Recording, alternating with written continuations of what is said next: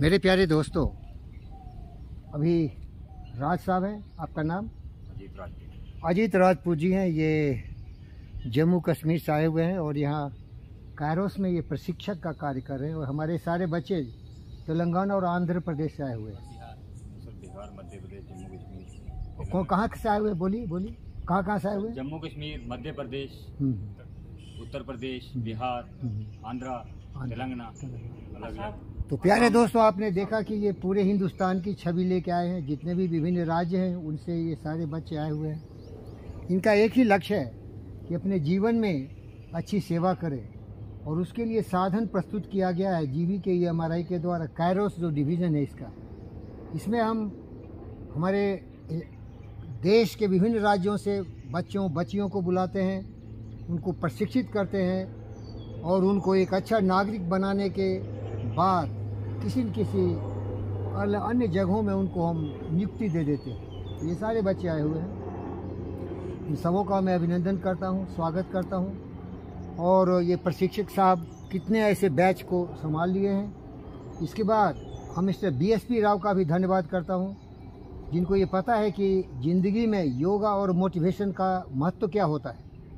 प्यारे दोस्तों, इस क्लास में मैं आपको आपको एक अच्छा चित्रवान विचारवान बुद्धिमान सर्वशक्तिमान मनुष्य बनने के लिए आपको सही दिशा का निर्देशन करूँगा चित्र निर्माण का कार्य कर, करूँगा।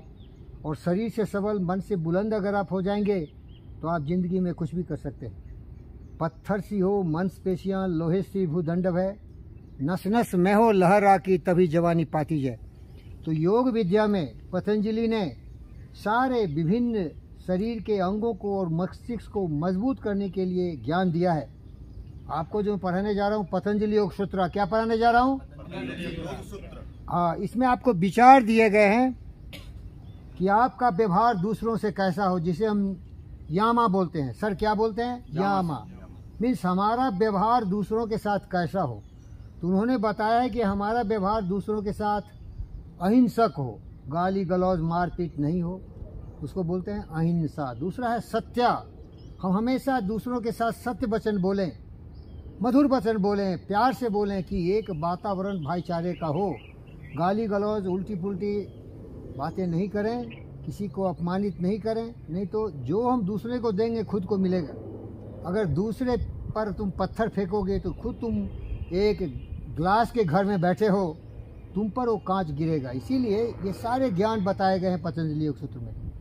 तीसरा है अस्त्या चोरी चुहारी लफंगा गरीब भ्रष्टाचार नहीं बनोगे। समझ गए? पहला क्या है? अहिंसा।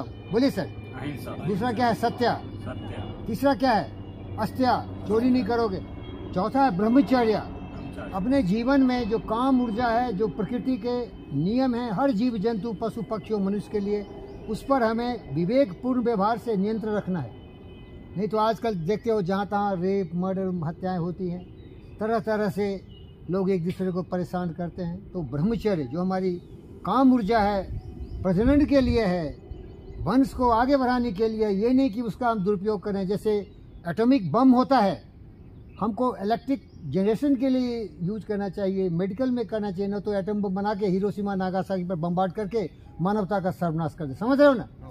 तो ये काम ऊर्जा सबसे घातक होगा अगर तुम दुरुपयोग करोगे। तो योगा बताता है इस पर नियंत्रण करो। कैसे करोगे? मेडिटेशन से। क्या सर मेडिटेशन मेडिटेशन से का मतलब है मेडिटेशन का मतलब है कि कोई भी जो हमारा सब्जेक्ट हो जो जिस पर चर्चा करनी हो गंभीरता से सोचो। अगर काम ऊर्जा के बारे में सोचोगे तो तुम्हें पता चल जाएगा कि काम ऊर्जा अगर हम दुरुपयोग करेंगे तो मेरा सर्वनाश हो जाएगा। तो डर के मारे गलत नहीं करो। सोचना ज़रूरी है। योगा सोचने की प्रेरणा देती है। योगा का डेफिनेशन क्या है? योगा चित्तवृत्ति निरोध बोले सर योगा हाँ चंचल मन है जो तरह तरह से भटकता है उसको नियंत्रण में करना ही योग विद्या है। बोलो क्या है सर? बोलते रहिए आप। चंचल मन को चंचल मन को नियंत्रण करना ही करना ही योग विद्या है। To restrain the mind stuff mind stuff from taking different forms ये मन ऐसे चंचल होता है ऐसा ऐसा घूमता रहता है। कुछ लोग तरह तरह से बोलते हैं ये पागल बंदर है या कोई दीवाना है पिछड़ू है लफंगा लुचिया है दिमाग। दिमाग को अकल नहीं है। बोलोगे, मार दो, मार देगा। बोलोगे काट दो, काट दोगा। बोलोगे, भगवान बन जाओ, वो भी बन जाएगा। इसको पता नहीं है। समझ रहे हो ना? तो दिमाग को नियंत्रण करके ज्ञान देना है मेडिटेशन से। धारणा और ध्यान से इसको सुसज्जित करना है जो आपको बताएँगे। और पाँचवा जो है यामा में कि किसी का दिया हुआ भीख मत लो। बोलिए सर। किसी का दिया हुआ भीख मत अहिंसा सत्यास्था ब्रह्मचर्य अपरिग्रह अ मीन्स दूसरे का परि में दूसरे का ग्रहण मत करो। किसी दूसरे पर कब्जा मत करो या न भीख मांगो। मांगन मरण समान है मत कोई मांगे भीख। मांगन से मरना भला सतगुरु की ये सीख। भीख मांग के मत जियो। खून पसीने की कमाई खा के जीना चाहिए समझ रहे हो? तो ये चैप्टर यहीं खत्म होता है। पहला स्तंभ है जिस तरह पैर में इतने देख रहे हो ना टहनियाँ हैं। इसी तरह पतंजलि योग सूत्र में आठ ऐसी टहनियाँ हैं। पहला का मैंने आपको चर्चा किया है वो है यामा। यामा। ओके? धन्यवाद करता हूँ आप सबों का। अब दूसरे अध्याय शुरू करेंगे।